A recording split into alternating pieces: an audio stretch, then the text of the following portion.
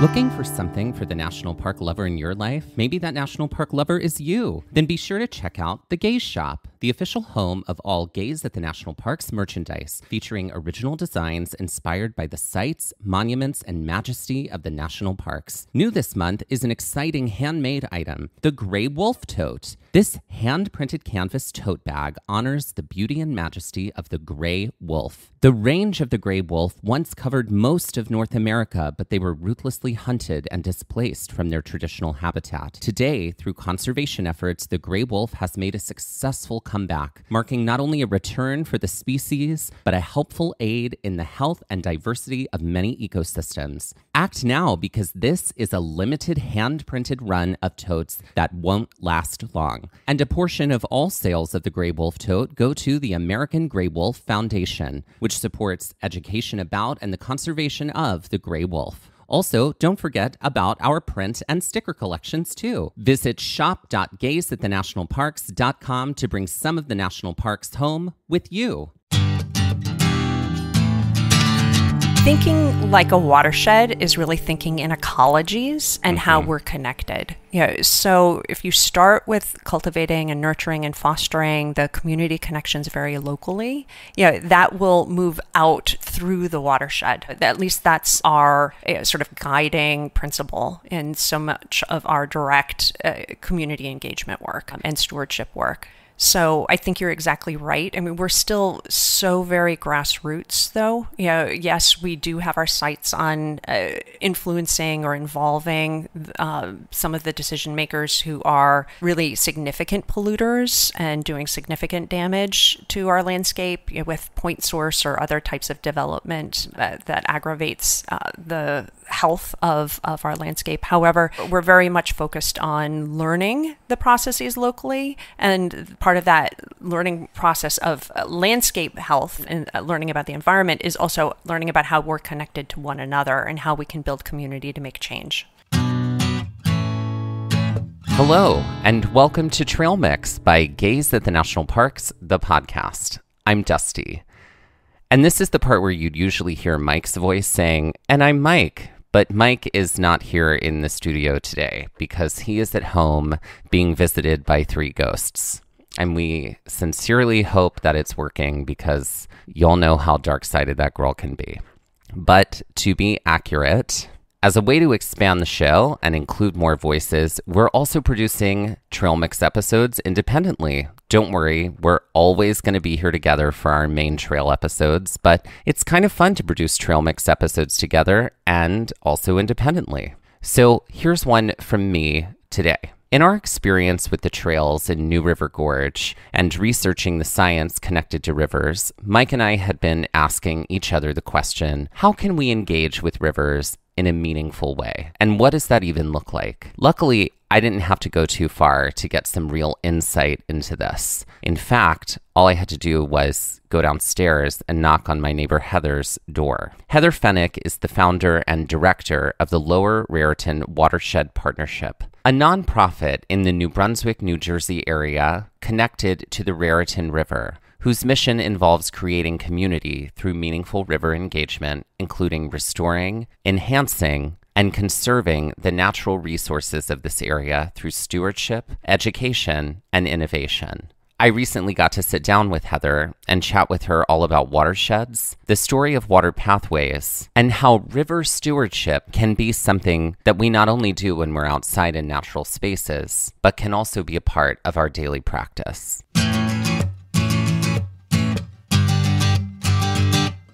Heather. Good morning, Dusty. Good morning. Okay, so it is Friday morning after Thanksgiving. Yeah. And um, I'm so grateful that you were like down to, to chat today. Well, and I'm grateful for you for giving some attention to our landscape, uh, river ecology, rivers. You know, so thankful. Yeah, so we are currently doing a whole bunch of episodes about trails in New River Gorge. New River Gorge started as a national river, and so we've been sort of like investigating rivers, river ecology, and and how to engage with rivers. And when we came to this, I thought Heather Fenyk is the perfect person to talk to about engaging with rivers because you have sort of made a career for yourself in doing that. And you have definitely created community around doing that through a nonprofit that you created. For me, that's exactly it regarding rivers is that they tell a story of how we're connected. They tell a story of community. They inspire us to build community. At least that's been the case for me. And tracing their paths through the landscape, tracing the way they formed ecologically, and understanding how we as humans are connected to that is really just been such a powerful experience uh,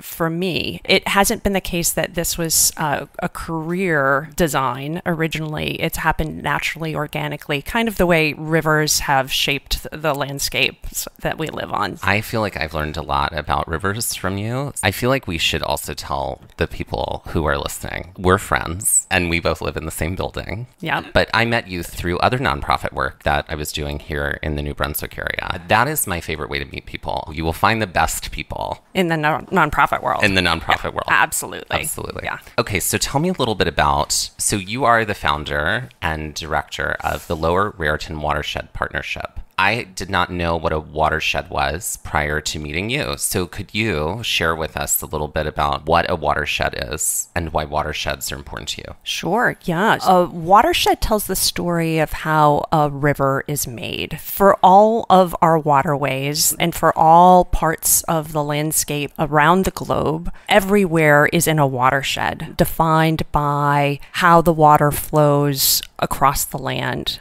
Watershed is literally a story of the water cycle and how that interacts with the land and interacts with the high points on the land to direct water flow out to our major oceans and the big expanses of water on the land. A watershed has natural borders that are ridges or high points or mountains, and uh, the water often has shaped the land as it has moved through the landscape. You know, you were talking about New Gorge, you know, that's uh, Yes. defined exactly by Anytime the water flow. moves, there's erosion. That's right. Yeah. So uh, the natural contours of the landscape are often defined, you know, if, if not by you know, plate tectonics or by volcanic activity, they're often defined then by the flow of water across the land's surface. But for watersheds, it's more a story of the forming of the river. It's also a story of how,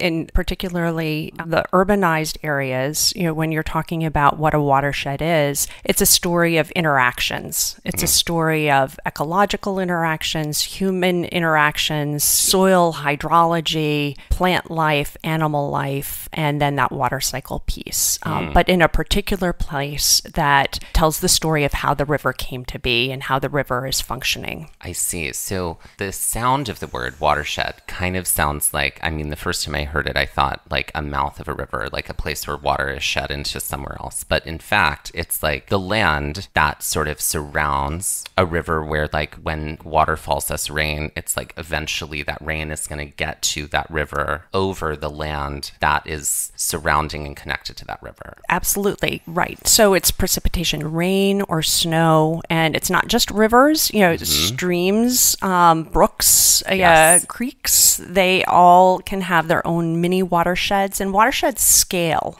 So they they build into each other like like Russian nesting dolls. You know, so you can have small what are called headwater streams that are considered first order streams that build into when they merge with another stream a second order stream and hmm. when those merge with another stream it's a combination of a couple of second order streams and it becomes a third order stream hmm. and as these waterways build up they generally get faster and then move into once you are at a higher order of combining streams you end up with a river you know a mm. proper river a faster flowing waterway. What was your own relationship to engaging with rivers, and then how did that lead to engaging with the lower Raritan watershed? I've always been a bit of a water baby. In high school, I did about a month long, what's called a flat water canoe trip in the boundary waters of northern Minnesota and Canada. And that was really the beginning of a, a love just with connecting with water and being on the water and understanding it more poetically necessarily than scientifically and just mm-hmm. having a deep connection there. And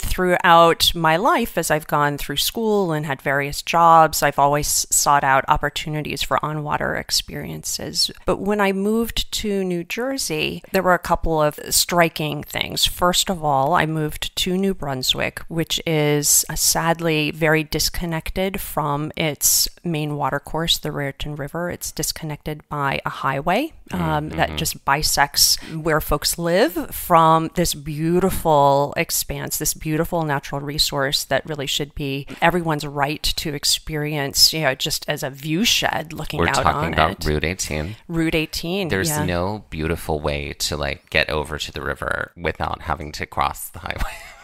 None. No, no, no. There's no natural way. I mean, I walk over there uh, most days, and like it's yeah, you you have to either get on on the sidewalk on a ramp, or you have to like go to you know one of the places where you know you can exit off of Route 18 in order to get over to where the natural space is. So that wasn't always the case. Route 18 was part of a slum clearance measure in the 1950s. So Really? it was, uh, of course, there was a need for improved circuitry, improved transportation infrastructure throughout New Jersey. I mean, we're an incredibly densely populated landscape. Yeah. Um, and you know, we needed good connections from New Brunswick to the Turnpike and to all these other major thoroughfares. However, there were strategic decisions made to put the roadway, Route 18, through densely populated area adjacent to the Raritan, where it was primarily low income people of color who lived in that area. About the same time, folks started thinking about, well, where are we going to put everyone? Who's being moved off this landscape? And you know, the public housing projects, that were called memorial homes, were built just about uh, two blocks away from here. So that was built, uh, yeah, going to have my dates wrong, but in the 50s ish as a place to put the folks who were moved out. And those buildings were demolished in 2001. It was a tremendous failure in public housing strategy to consolidate very poor folks in poorly designed um, buildings. Um, but anyway, going back to the idea of cutting off our communities from the river, Route 18 is strategically placed to move folks out of direct contact from the river, you know, which had in many cases been a livelihood for some people. But it also, perhaps in defense of some of the folks who were making the these decisions, it also moved folks away from some of the risks in a mm. floodplain, you know, in an mm-hmm. area that flooded a lot. So, how did this circumstance with the community and the Raritan River play a role in the creation of the Lower Raritan Watershed Partnership? So I landed in New Brunswick in 1998 and really wanted to sink my hands into the soil. I'd really wanted a place to settle down for a little while while I was working on my graduate degree. And first of all, you know, as I mentioned, one of the most salient things was being cut off from the river, which was a tragedy. But another thing was the development of New Jersey has made it so that so much of our soils are contaminated with lead or mm. other pollutants. And connecting with the soil in an area where you have a lot of pollutants isn't the safest thing. There weren't too many community gardens. Actually, there were no community gardens when I moved here. And I wanted to put plants in the soil. My first involvement in thinking about watersheds really came from starting community gardens and building up a handful of community gardens throughout New Brunswick. After we had maybe a dozen or so gardens in place, just a collective of students and community members had started these raised bed gardens and started coming together to talk about food security issues in a town that had a really miserable excuse for a grocery store. Yeah. We found that food security didn't relate just to fresh produce, but also related to where folks were getting their protein source. Mm. And a number of people were fishing for consumption in the Raritan River. That caused a lot of folks to sort of step back and say, well, uh, how safe is the water in a very industrialized area where the land is polluted by leads and other contaminants? How safe is the water as a supportive life system for the fish? And how safe are those fish for the people who are catching them to consume? Mm. Um, and so the work that I now do in terms of water quality monitoring really started with just the question of how safe are the fish to consume. Wow. I didn't know that at all. What a fascinating journey and what a fascinating problem. Nonprofits exist to solve some kind of problem or some kind of gap in community, in justice, in life, and somehow there's some gap, and the nonprofits trying to solve that problem or trying to bridge that gap. So the problem was that food insecurity, people fishing in the Raritan in order to find a protein source. Wow, I had no idea about that. Right. It's connected to though, when you're talking about community gardening. Yeah. Mm-hmm. So that's part of the watershed. Yeah. Yes, and, is, you know, yeah. so food security, human health, landscape health, that's all part of the genesis, the origin of thinking around starting a nonprofit for, um, to address environmental health. But then also, um, you know, so for a few years we were doing the community gardening. We were starting to get our heads around what it would take to have a meaningful water quality monitoring program. And during this time, I had a young child in my life, my daughter, mm-hmm. um, who would go out with me to the Raritan River. We'd go out for walks along the canal. We'd walk along the Raritan. She would notice the trash. I mean, she noticed all the beautiful landscape as well and all of the critters, but she also noticed the trash. And for her fourth birthday, she said that she wanted to have a birthday party to clean up the trash. Love, um, that. Love that. So we did a little cleanup and realized that in addition to a lot of interest in the water quality monitoring work that we were starting to do, that there was also a lot of interest in cleaning up this landscape. Mm. And mm. to support that in a meaningful way, you know, those exercises going forward, it just became clear that a nonprofit was a really good conduit to maintain some of that activity. I love when nonprofits just sort of emerge because it kind of has to right? And what was shocking for me as someone who was working at Rutgers University, someone who was doing a lot of community engagement through my work and my studies at Rutgers, was that an institution like Rutgers had not initiated this type of activity in the oh. decades that it had sat along the banks of the old Raritan as the wow. uh, alma mater goes. um, yeah. And it was it was really shocking. So part of the initial activity was looking to see if anyone had done anything like this from Rutgers. Entity had done this type of stewardship, doing sort of an assessment of who might be a good partner. And in asking those questions, it sort of naturally built partnerships. People kept saying, "Well, no, we really should, shouldn't we?" Mm-hmm. Um, along that path, started building the connections to bring to bear in creating an organization that had strong support from uh, Rutgers, from other entities in the area. But the fact of the matter was that Rutgers did not have some sort of a stewardship program around the Raritan before that in yeah. any meaningful way. Fascinating. Stewardship is it's a word that I see a lot and it's a word that I mean I uh, you know, we take very seriously because we feel like anytime anytime anyone enters a natural space, particularly a national park space, like you are a de facto steward in that moment from the way you engage on a trail, the way what you bring, what you take out with you, which you should take out everything, obviously, the way you follow the leave no trace principles, the way you give animals space, all of it is stewardship. I'm curious about your thoughts on stewardship education For the lower Raritan Watershed Partnership, stewardship absolutely has an element of the leave no trace. However, you know, that's really a narrative that you know, is more meaningful in a national park setting. Sure. You know, so in an urbanized landscape like uh, central New Jersey, what we advance around the stewardship narrative is how can we restore really degraded lands? Mm-hmm. Um, mm-hmm. And so stewardship is definitely cleaning up after ourselves, but sadly, it's also cleaning up after uh, everyone who everyone came before else. us mm-hmm. who made such a big mess of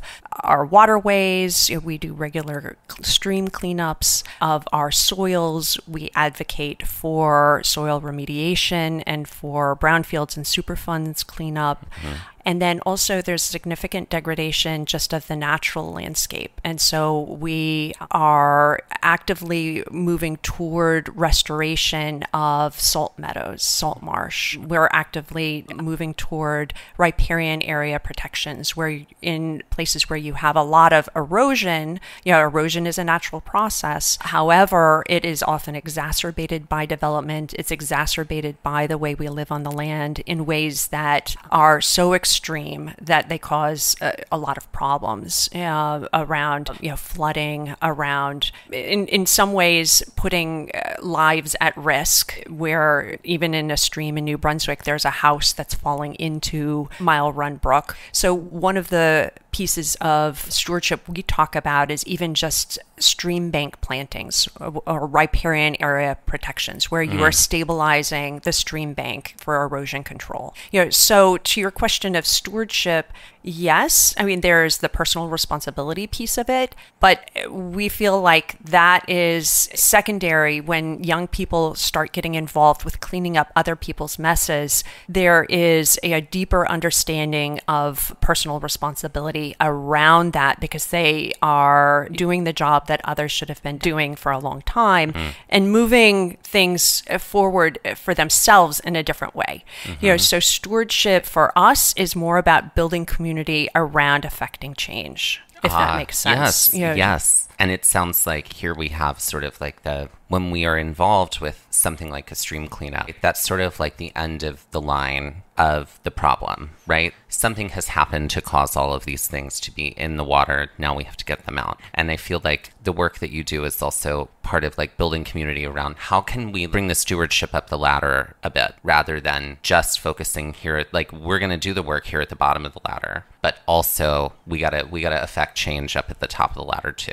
Oh, absolutely. Yeah. Thinking like a watershed is really thinking in ecologies and mm-hmm. how we're connected. Yeah. So if you start with cultivating and nurturing and fostering the community connections very locally, yeah, that will move out through the watershed. At least that's our uh, sort of guiding principle in so much of our direct uh, community engagement work and stewardship work. So I think you're exactly right. I mean, we're still so very grassroots, though. You know, yes, we do have our sights on uh, influencing or involving uh, some of the decision makers who are really significant polluters and doing significant damage to our landscape you know, with point source or other types of development uh, that aggravates uh, the health of, of our landscape. However, we're very much focused on learning the processes locally. And part of that learning process of uh, landscape health and uh, learning about the environment is also learning about how we're connected to one another and how we can build community to make change.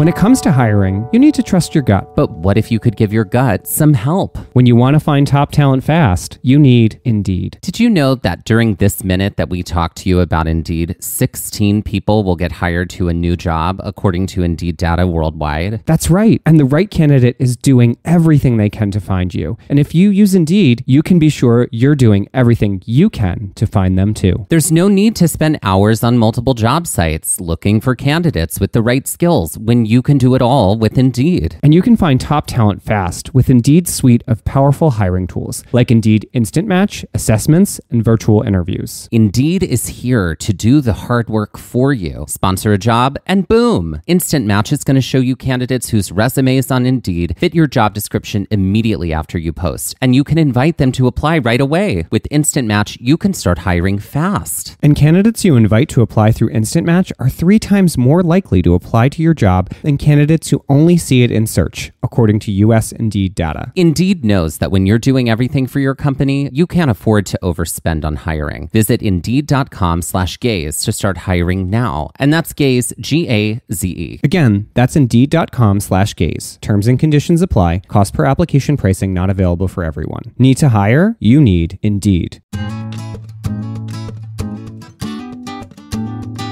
What if planting a tree was as easy as making a purchase? Well, not only is it easy, but it's incredibly rewarding and helpful in the fight against climate change, something I know we're both concerned about. Introducing Aspiration Zero Credit Card, the credit card that helps the planet with every purchase you make. We are big fans of Aspiration Zero because Aspiration Zero is the first credit card that fights climate change by planting trees with every swipe. And who doesn't want that? The way it works is simple. With an Aspiration Zero credit card, you plant two trees with every purchase you make, and two trees soaks up about the same amount of carbon dioxide from the air as you put out every day. Make your dollars make a difference. Apply for the Aspiration Zero card today and earn a $300 welcome bonus after spending $3,000 in the first 90 days. Apply right now at aspiration.com slash gaze to go carbon neutral effortlessly and earn a $300 bonus. Go to aspiration.com slash gaze, and that's G-A-Z-E. The Aspiration Zero MasterCard is issued by Beneficial State Bank pursuant to license by MasterCard International Incorporated. Good credit required. Terms and conditions apply.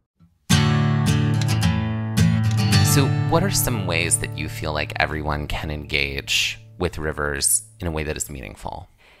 So, even stopping to listen to the water flowing under a storm drain, under a grate um, on the street, on the sidewalk, stopping to listen, removing the trash that's in the storm drain, sitting on top of the surface of the storm drain, putting that trash in a garbage can so that that trash doesn't end up in the waterway is a way that we can engage with the river so many of our waterways are completely hidden or disappeared. One of our catchphrases is hashtag look for the river, and we're always encouraging folks to look for the river, not just with your eyes, but with your senses. Mm-hmm. And that includes, you know, when you see a, a storm drain on the side of the road with a lot of trash in it, that you stop, you listen, and you make the connection that, oh my gosh, you know, the water that I hear under this storm drain is flowing to the river. Mm. You know, I'm looking for the river and I'm stewarding. Yeah, I'm acting yeah. as a good steward. I'm acting in stewardship for the waterway.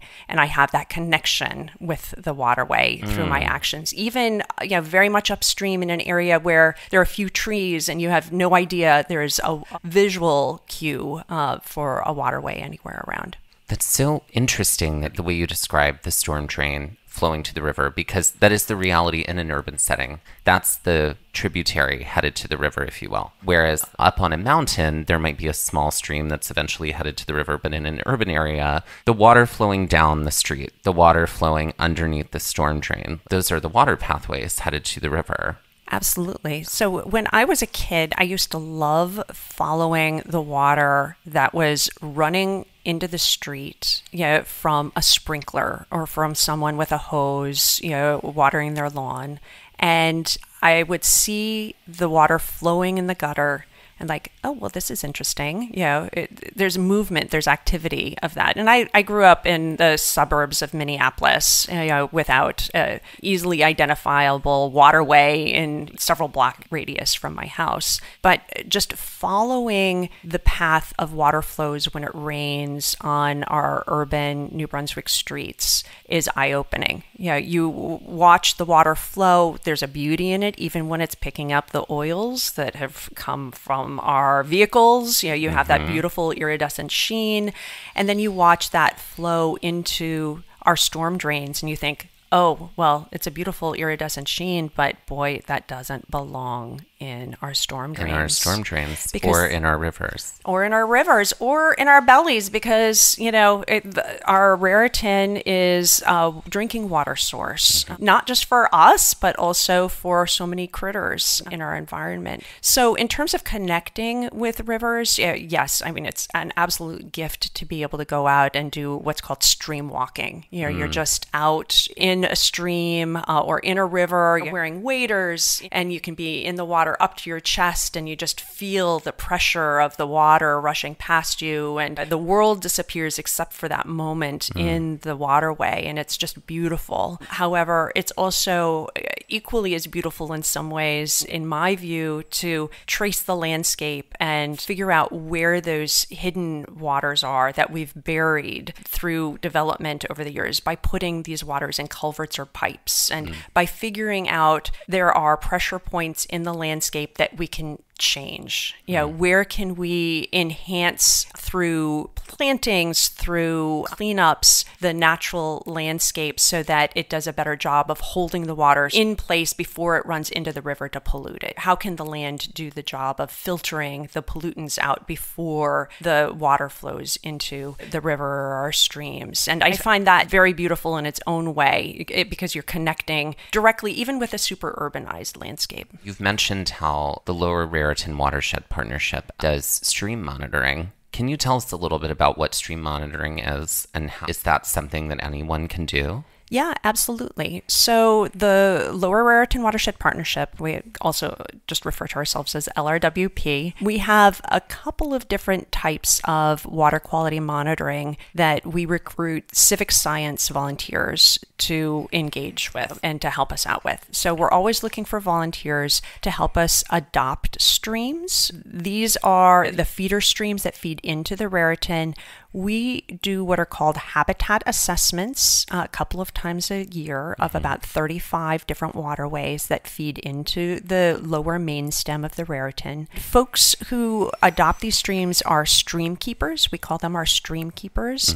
And they are the eyes and the ears of impacts to the waterway. They're looking for trash, erosion, impacts of climate change. They go out with a clipboard and a form to basically take the pulse of the river with a series of questions. They will measure the temperature of the water. They will measure the velocity, you know, how quickly the water is moving, you know, what the water flow is, evaluate the types of plants in the area. And they're doing that with an eye to understanding the base of the food chain. They want to know how healthy that stream is for the critters, the macroinvertebrates that live or should live in the muck of the stream bed, um, under rocks or in the sandy soils or in the mud. We evaluate the health with a very simple checklist that anyone really 15 or older could use. And they report back their findings twice a year for us. And we have a database of information on all of these 35 streams in the waterway. And we have trainings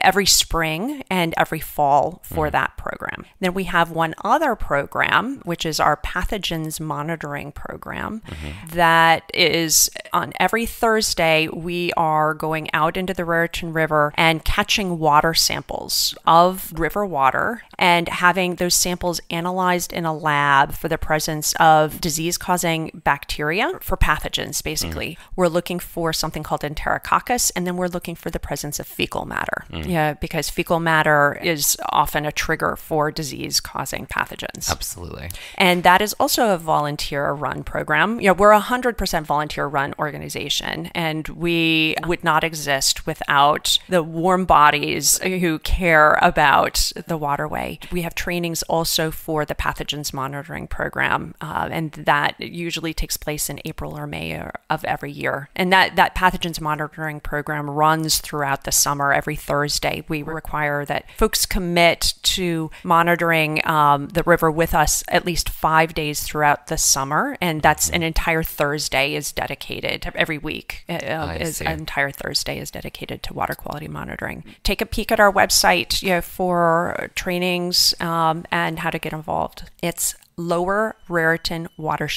permethrin.org. I'm so curious about the data. So, again, we have these two different programs. We Yeah. have the visual habitat assessments of the streams, and from the gifts of volunteering that our volunteers have provided and the storytelling they've done around our streams, we've really gotten a handle on which streams have the most pollution in them, which mm. ones have the most trash, and we've been able to prioritize everything from cleanups to the stream bank plantings to do erosion control. And we've gotten a little bit of a sense for which streams are under perhaps most pressure for, due to climate change and which streams might eventually overbank and cause flooding. You know, so we've learned a lot about potential risk, human risk in particular, through the work of these volunteers in our in our streams through the visual habitat assessments. Um, so that's sort of um, colloquial data. That's storytelling around around that piece of things. And then with our pathogens work, what we have learned um, is not so surprising. You know, we have known for a long time that pathogens are bad. You know, and Right. you know, so so we don't want to see them in our water, and that when we have high hits, that's usually associated with high precipitation events because what's happening is with rain washing the surfaces of the land, flushing everything off into the storm drains, we will always see higher bacterial and pathogens numbers. Yeah, so we have chosen the locations for our pathogens monitoring based on where no public health monitoring exists for non bathing public access sites. So we go to six sites along the lower main stem of the Raritan where there is what's called primary contact with the waterway, which means that people are either canoeing, kayaking, jet skiing, in some cases swimming full body immersion in the waterway. However, being that these are non bathing public access sites, the county department of health isn't doing any monitoring, the state department of health isn't doing any monitoring, and no one is communicating potential risk to the larger community. Oh, so because they're not public bathing sites, then nobody's going in there. If they were public, then you would assume that people were going into the river. But these are considered non public. However, at each one of our sites, we have abundant documentation of this primary contact with the waterway. And these are locations where often the people who do have the primary contact with the waterway, in some cases fishing, as I said, you know, mm-hmm. swimming, they are often you know lower income community areas where people cannot easily access the shore points. They can't go mm. down to those bathing sites. But during the hot summer months, they want to fish, they want to cool off, they want to swim, they want to have that direct contact, that beautiful experience of connecting with the waterway. Right. And this is their local most waterway to connect with. Anyway, so we are collecting data about these sites and reporting out every week. And the most interesting thing for us is basically a validation. What our concerns were around precipitation are true. You know, um, when it rains a lot, you are going to have grosser waters and more problematic uh, around health risk.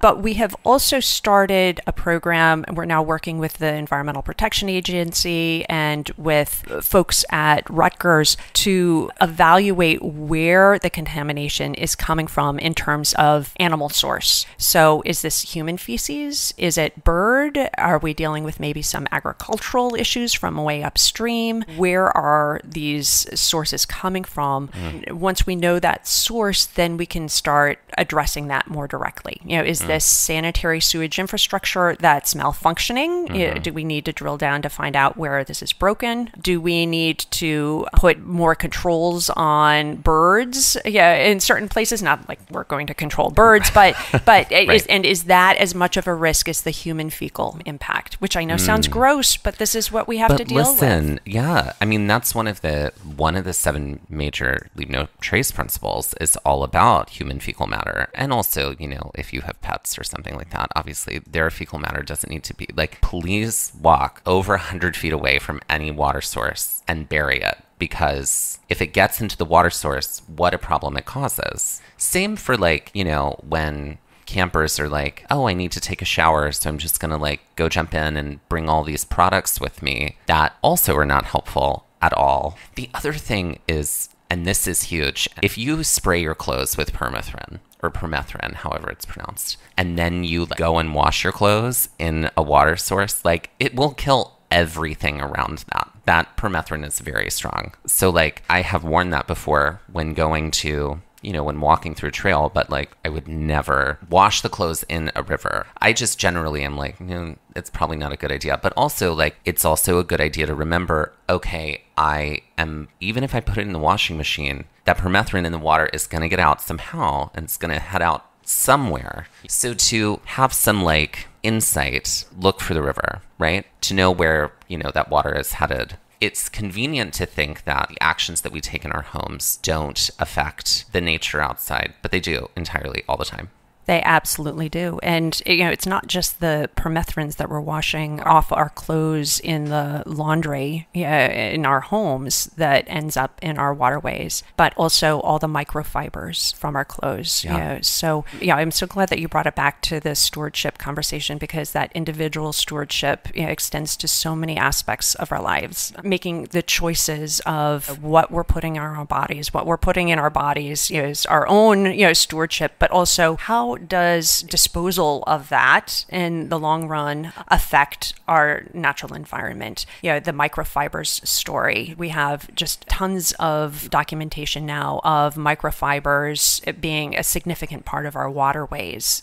Um, you know, um, uh, there's we're finding them inside of fish too, right? Right. Oh, in all aquatic uh, creatures are affected by microfibers now. Um, the permethrin story, which is um, used as an insecticide, so so basically, you're putting it on yourself as a bug repellent, mm-hmm. and um, yeah, not just the permethrin, but also you know any of the other um, bug sprays that you might use. You know, those are not just designed to keep you safe, but they're often designed to, kill the critters that you're trying to ward off from biting your your ankles. You know, right, so right. Um, and then the other stewardship stories you, you, you talked about uh, making sure that you're digging a hole for you know to use the bathroom, you know, far away from a water source. You want to make sure that you're carrying out you know, dog waste. It's something that I've seen a lot in our urban areas. People will have their dogs squat over a storm drain, and I see that, and it just it, we have on our storm drains it, drains to river stamped on almost all of them. Yeah, mm, so mm-hmm. um,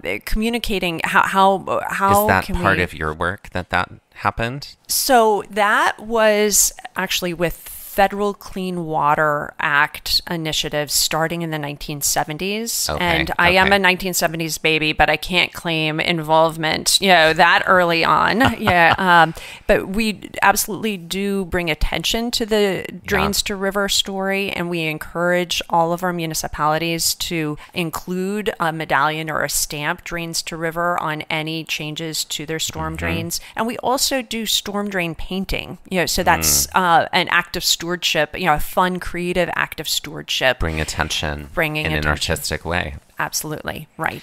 I love that you continue to use the word story because it is. The storm drain story is fascinating, as in, yes, it drains to the river. Yes, anything I put in the storm drain now is going out to that river. I'm a participant in this story now. And I love the word story as the language there because it, it makes us characters, it gives us responsibility in that moment. Right. And a story also can be a living object. You, know, um, you know, it can be co produced. You know, mm-hmm. what is the ending of the story? that we want to see. It's empowering to the folks who are taking initiative to get involved. It's it should be empowering to all of us uh, using the word story. So I, I, I like the way you've framed that um, uh, very much. I, I think that we all are characters, and thinking on that, if we reflect on that seriously, you know, will perhaps change some of our behaviors for the better to come out with a, a better final ending. One of the things that I love and one of the things I continue to go back to. Obviously, climate change can feel like a giant, huge problem that is just has spun out of control in a way that we could never fix, we can never get back. I feel like we have two choices here, right? We can either get debilitated by the problem or we can fall in love with the solutions. That's just so beautifully put eh, because on a day-to-day basis you know every new person i meet who gets engaged with this work you know i fall in love with in a way too mm-hmm. you know we're we're all following falling in love with the possibilities around climate change too um, the word for me is responsibility mm. but as in the ability to respond Mm, yeah, mm-hmm. um, which is less burdensome somehow than the word responsibility by itself. I agree. If you think you know, your response language. ability, we all have the ability to respond in some way to what we see around us, what we hear about what's happening around us, and you know, sure, it can be depressing at times. However, we all have the choice to shift from that depression to I'm going to take action now. I have the ability to respond to this in a positive way. And you know, that's what's so heartening about coming together as community and falling in love with the solutions and falling in love with the people who are you know, bringing about the solutions is mm-hmm. that you know, we have the ability to respond through community to make these changes as well. And um, it's it's just been a great gift to do that. Okay, so remind us where can we find LRWP? So the Lower Raritan Watershed Partnership has a web presence. Mm-hmm. So we have um, our URL for our website is lowerraritanwatershed.org. We are on Instagram, we are on Twitter, we are on Facebook. We have a YouTube channel with great videos about the watershed, about our rivers, about our streams. On almost all of our platforms, there's information about how to get involved. And we'd love to get involved with more folks. Yeah. So we invite all of you to get involved and um, to look for the river. Look for the river. Thanks, Dusty. Thank you, Heather.